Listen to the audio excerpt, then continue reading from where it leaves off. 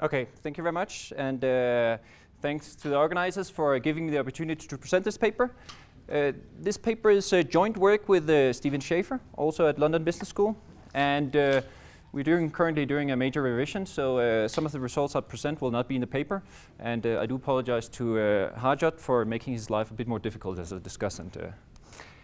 Now, uh, this paper is about the credit spread puzzle. And uh, uh, the puzzle is the finding that if we kind of look at the empirical spreads and uh, compare them with a uh, Merton type structural model, uh, constant risk premium, constant volatility, diffusive only risk, then the spreads in the data are higher than those implied by, um, by the model. Uh, these graphs shows uh, results from uh, Chen, Collin, Dufresne, and Goldstein in the 2009 paper.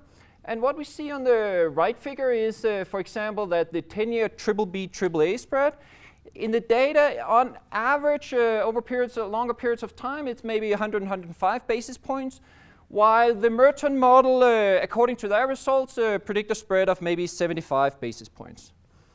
If we look at higher rating categories, uh, single A, double A, uh, we find that uh, the Merton model can explain a, an even smaller fraction of uh, uh, the empirical spread. Now on the left-hand side, we can see, for example, it gets worse uh, for triple B, triple A, the four-year spread, where the empirical spread is 105 basis points, and that implied by the Merton model is around 50, 55. So that's the puzzle. now, how has these, uh, the Merton model and uh, uh, different flavors of the Merton model been tested? Now, most of the papers finding out credit spread puzzle, uh, they test the, um, the model using a representative firm, which means that uh, it's an average firm within a rating category, say an average triple B firm with an average triple B leverage ratio and other average parameters. Now, most often, uh, this representative firm is then fitted to historical default frequencies. Uh, so, so they're tied down by uh, forcing them to match the default frequency. And, and all of these papers, they find a significant credit spread puzzle. Now, there's a slightly smaller literature that looks at individual firms. Uh, there's, there, there are some papers mentioned here.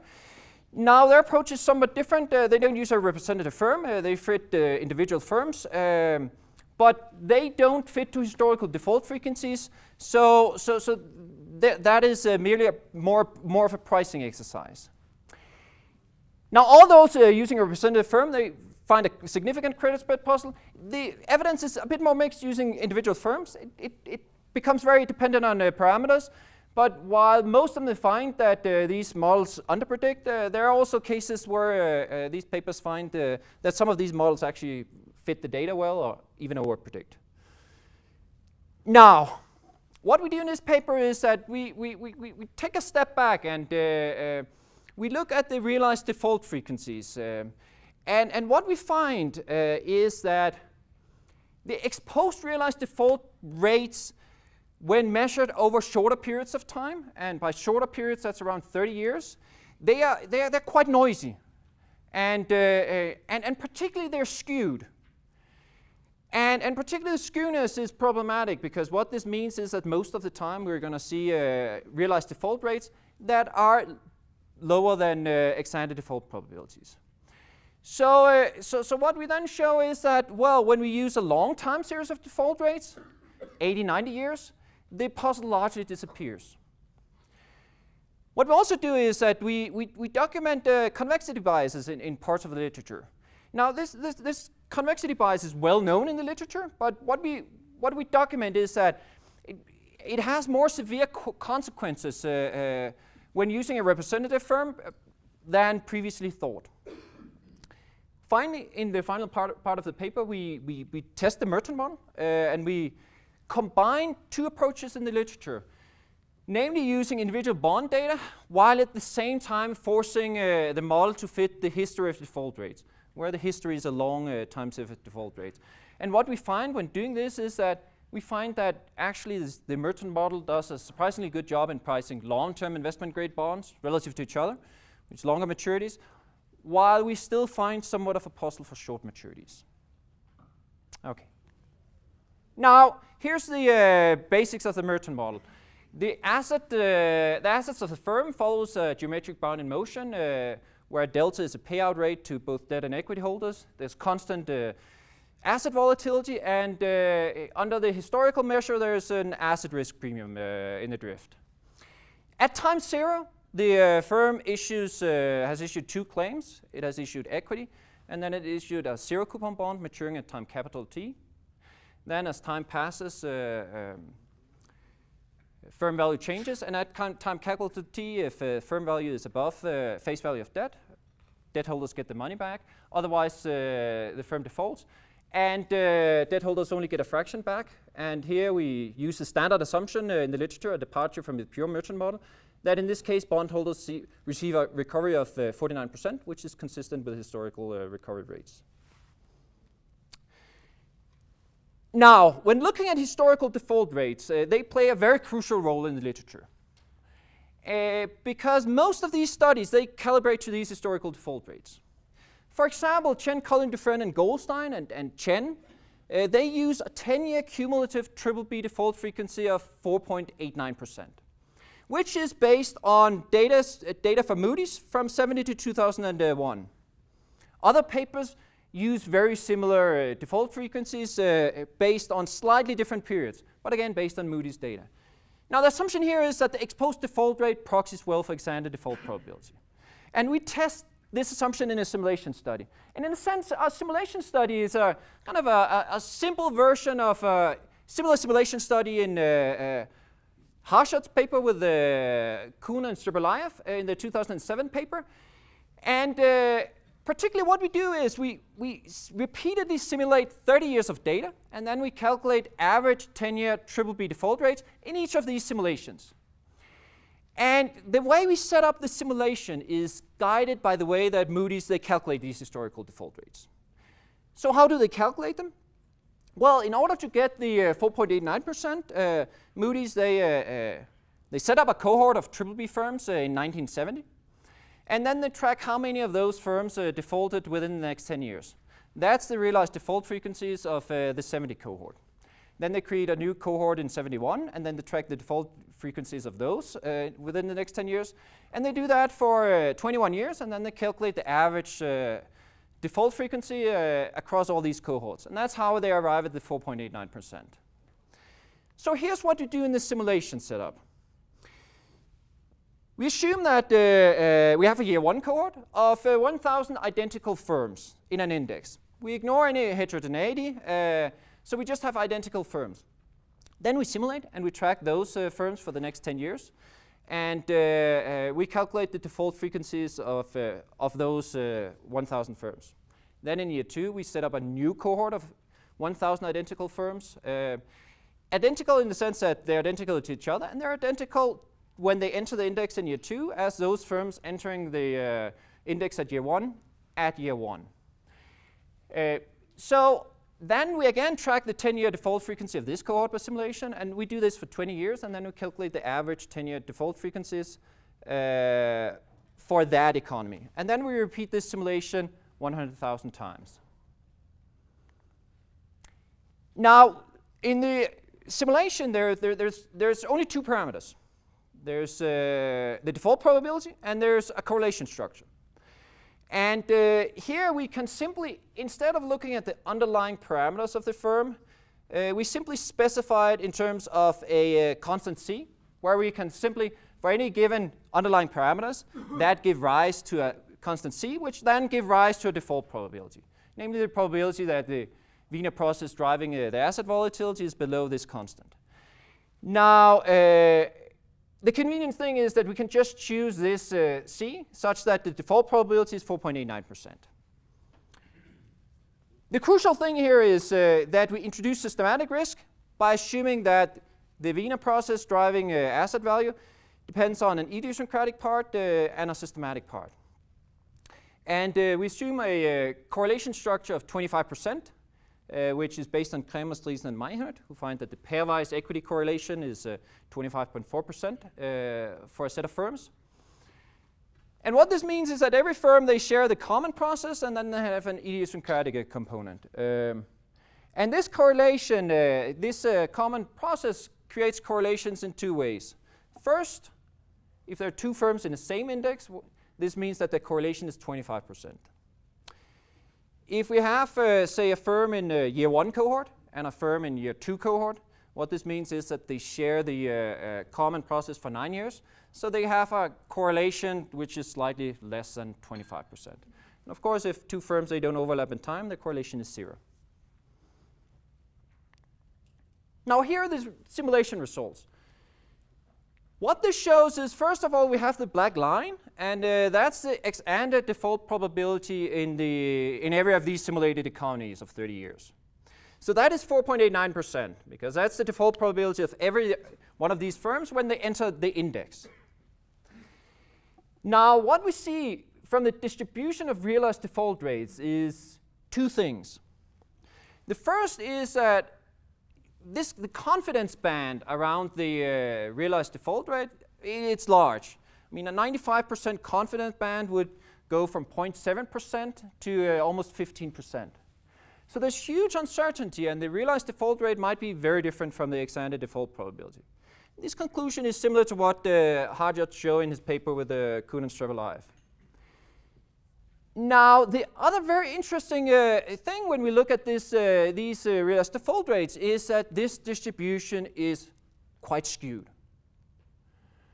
So the value of a realized default rate that we are going to observe most often is close to half of the ex-ante default probability. So most of the time, if there's not a negative shock, very negative shock to the economy during those 30 years, then the realized default rate is going to be below the ex-ante default probability, and we would perceive that there was a credit spread puzzle because they perceive too low relative to the spreads.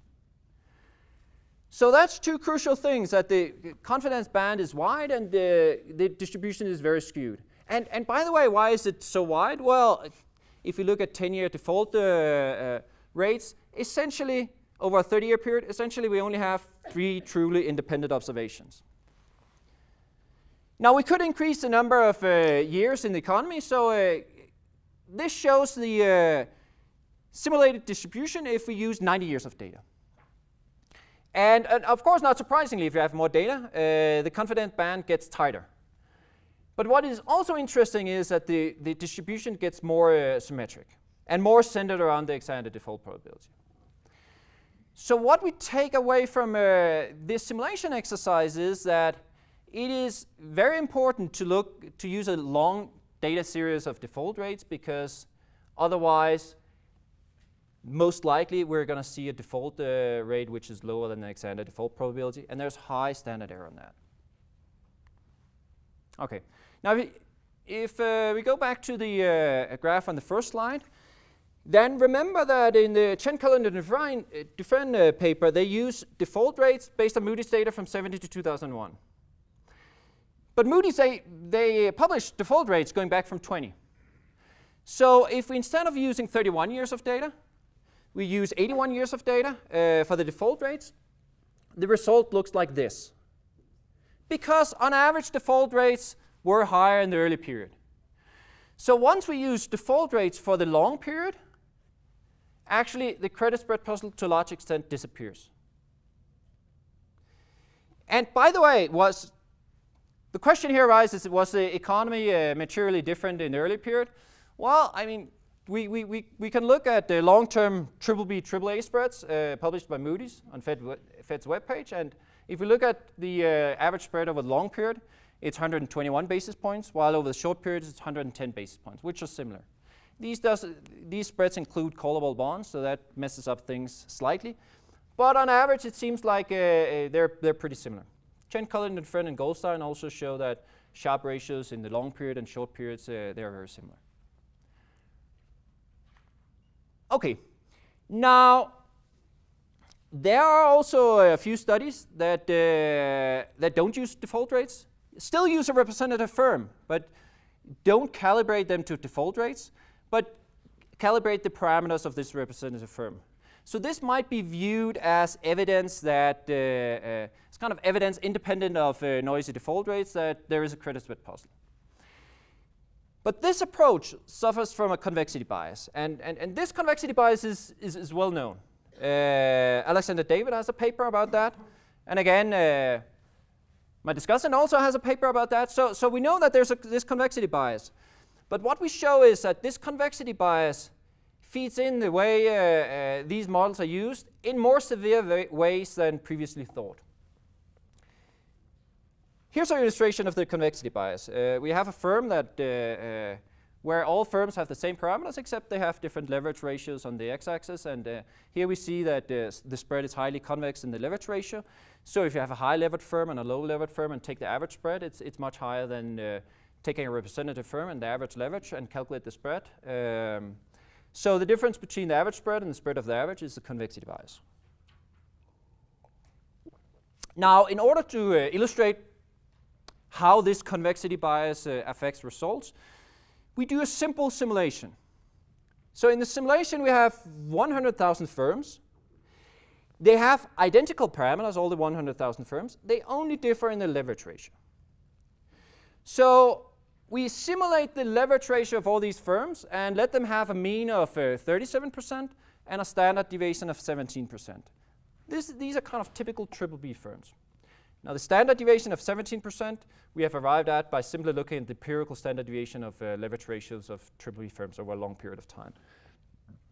Why do they have uh, different leverage ratios uh, in the data? Well, first of all, Cross-sectionally, at any given point of time, uh, there's quite a variation in uh, leverage ratios uh, within a given rating category. And over time, the leverage ratio of, say, on average of triple B firms also varies. Now, if we take these 100,000 firms that only differ in the leverage ratio, and they have one important parameter, they have an asset volatility of 24%. If we, for each of those uh, firms, we calculate the term structure of corporate bond spreads by repeatedly pricing a, a, a, zero coupon bond with different maturities. And then we take the average uh, term structures of those uh, 100, 100,000 firms. We get the black line here. Now, if we instead use the uh, representative firm uh, approach uh, and not fit to historical default frequency or default probabilities, uh, as in Leland and McQuaid, then we take uh, the average leverage ratio and uh, use that for a representative firm and uh, then predict the credit spread and we arrive at this. And, and, and because of the convexity bias, there's a downward bias in the spread. This is, this is well known, but what is interesting here is that the bias gets more severe as the bond maturity decreases.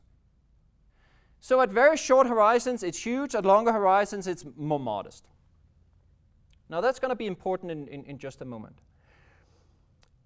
Now the, the argument in the literature why, because this convexity bias is known, the argument why it's safe to ignore is, is put forth by, say, Huang and Huang and Chen, Collin, Dufresne, Goldstein, and saying, well, once you fit to historical default frequencies, this convexity bias is, is countered, and, and we can ignore it when using a representative firm. Why? Well, because there's a downward bias when using a representative firm when predicting spreads, but there's also a downward bias when predicting default probabilities. So when using a representative firm, when we calibrate that and force it to uh, fit historical default frequencies, and typically this is done by leaving the asset volatility as a free parameter that we can imply out. Well, there's a downward bias when predicting uh, default probabilities, how do we counter that? Well, by having a too high asset volatility.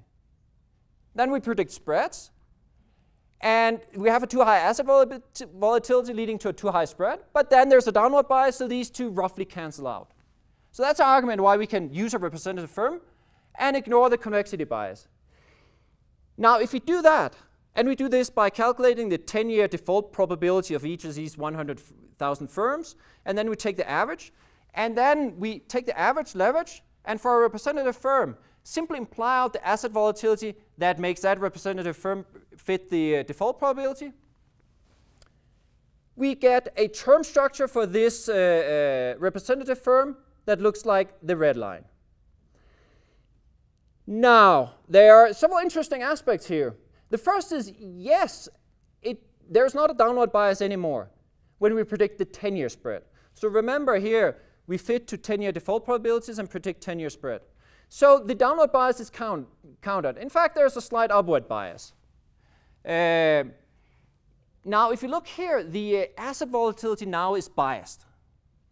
So because the asset volatility is now 25.4%, because we need to raise the asset volatility to counter the convexity bias. So what we are going to have here is a biased asset volatility.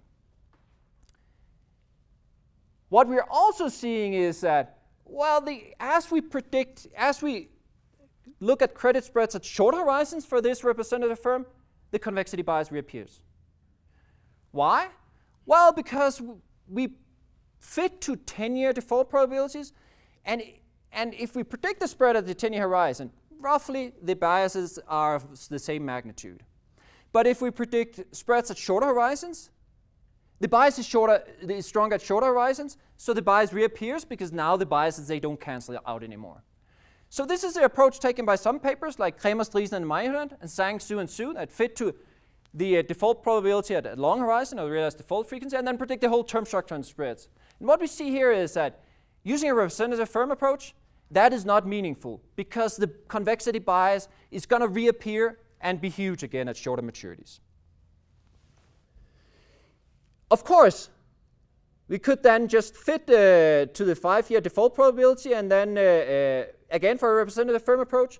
And this illustrates, well, then roughly we're going to predict the five-year spread correctly, but the spreads at other maturities are going to be off.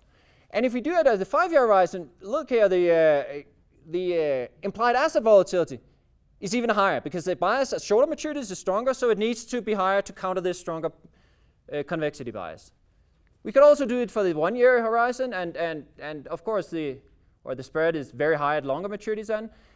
And what is interesting here is then the implied asset volatility is 38%. So the fact and this is a well-established uh, finding in the literature that if, if we take a standard Merton model and fit it to one-year default, uh, realized default frequencies, the implied asset volatility is huge. And, and, and this, this is generally regarded as evidence that the Merton model fails.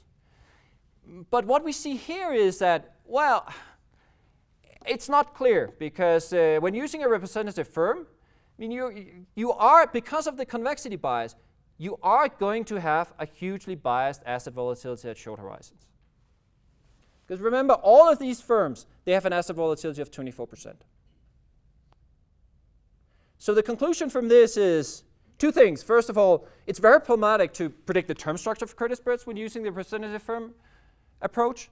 And secondly, when using this representative firm approach, one has to live with a bias asset volatility or other parameters with if other parameters are implied out because of the convexity effect.